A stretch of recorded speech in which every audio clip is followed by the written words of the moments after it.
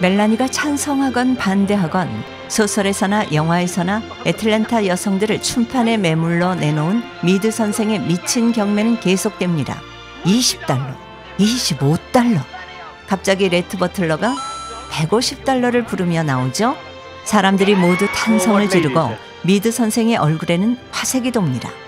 어떤 분입니까? 찰스 해밀턴 부인. 찰스 해밀턴은 멜라니의 죽은 오빠. 그러니까 그 부인은 스칼렛이죠. 미드 선생은 급 정색합니다. 미친 인간아, 아무리 그래도 그건 아니지. 하지만 스칼렛이 소리치죠. 아니야, 나도 미쳤어. 졸도한 피티 고모를 내버려 두고 화가 난 멜라니를 뒤로 하고 안 그래도 몸이 쑤셔 죽을 지경이었던 스칼렛은 레트와 춤을 추러 나오죠. 스칼렛은 말합니다. 오늘 밤은 에이브러햄 링컨하고도 추겠어요. 레트는 멜라니가 맡아놓은 링컨 자리를 낚아채가 버린 것입니다.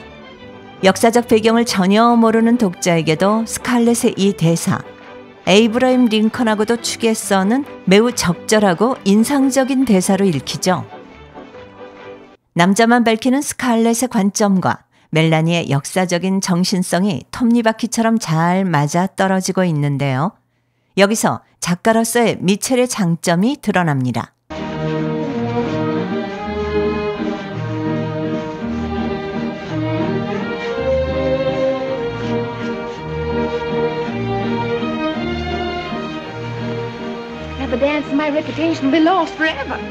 신나게 춤추는 스칼렛. 레트는 멜라니의 강력한 라이벌입니다.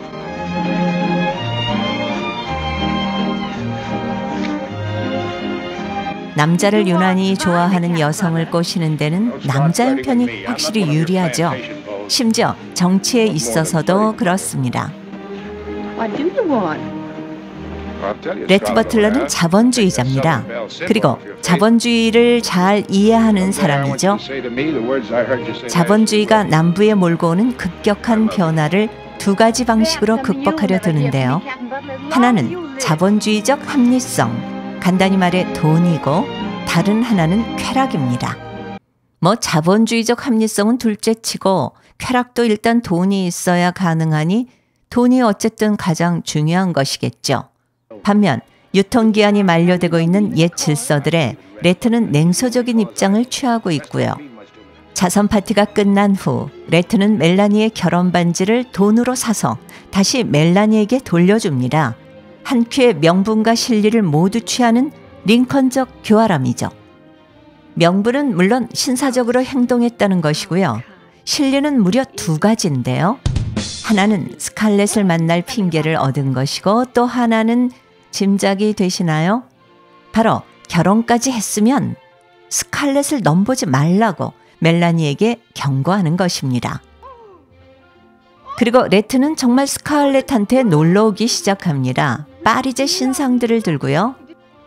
당신에게 16살부터 60살까지 쾌락을 주는 남자는 나 하나뿐이야.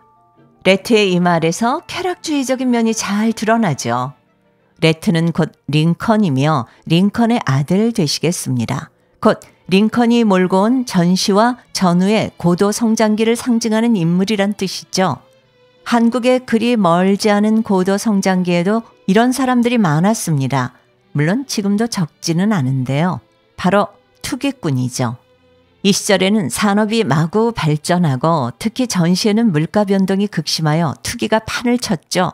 누구나 마음속에 비트코인이 있었던 때, 그리고 전 근대적인 질서와 함께 공동체가 해체되기 시작했습니다.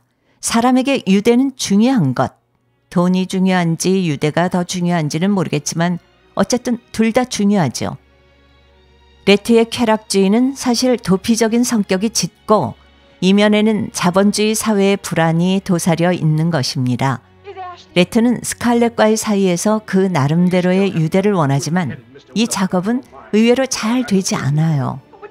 레트는 어쨌든 핑계일지언정 멜라니에게 방문한 것이고 멜라니를 매우 친절하게 대합니다.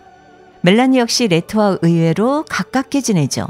스칼렛은 둘이서 어떻게 친해진 건지 둘 사이에 대체 무슨 공감대가 있는 건지 내심 궁금해 한답니다. 서로 무슨 이야기를 나누는 걸까요? 서로 성별도 다르고 덩치도 다르고 겸손한 멜라니와 늘 잘난 척하는 레트는 언뜻 서로 정말 안 어울리는 사이죠. 하지만 둘 다 정치 고관심자라는 공통점이 있었습니다.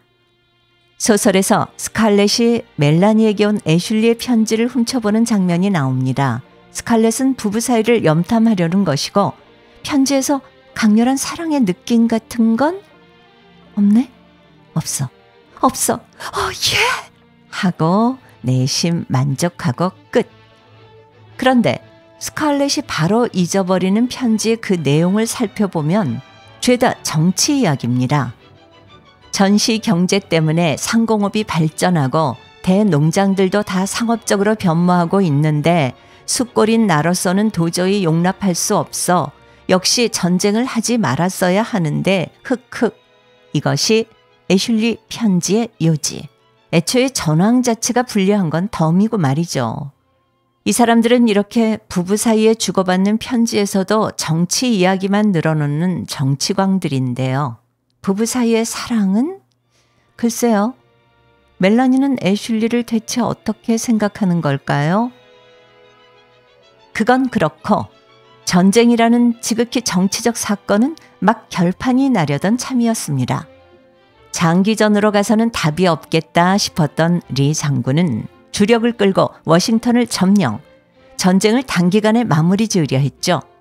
워싱턴으로 가는 길 게티스버그에서 북군과의 영혼의 한타가 벌어집니다.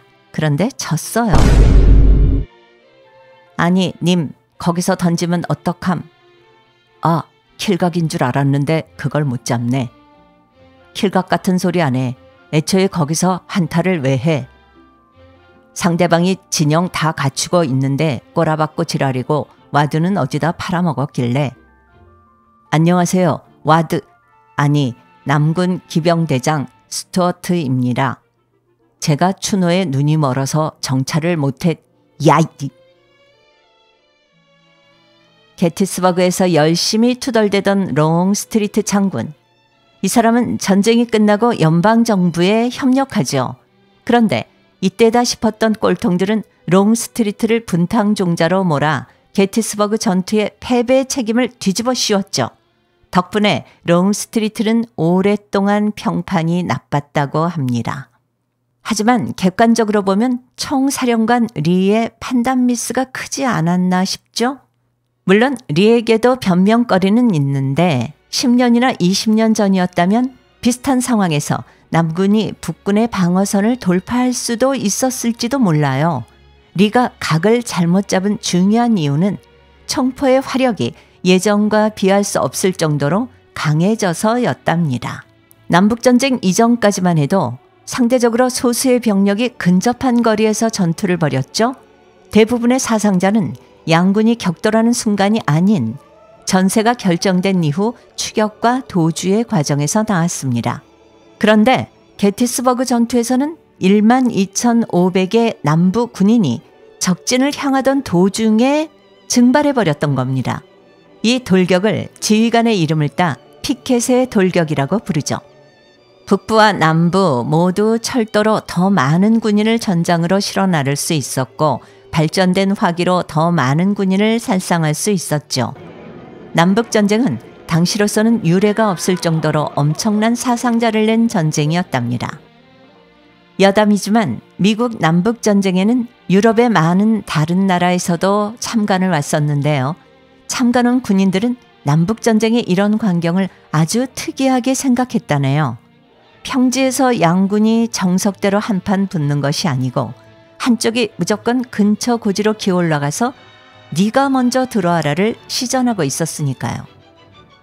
유럽 군인들은 미국 놈들은 참 이상하네 라고 중얼거렸지만 이런 전략이 진리였음은 나중에 1차 세계대전에서 드러납니다. 전군 돌격 앞으로의 시대의 종말이었죠.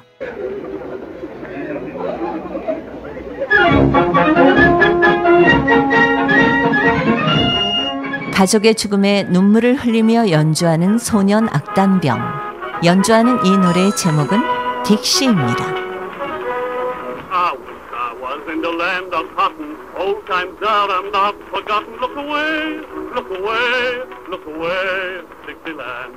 In Dixieland, where I was born in early on one frosty morning. Look away, look away, look away, Dixieland.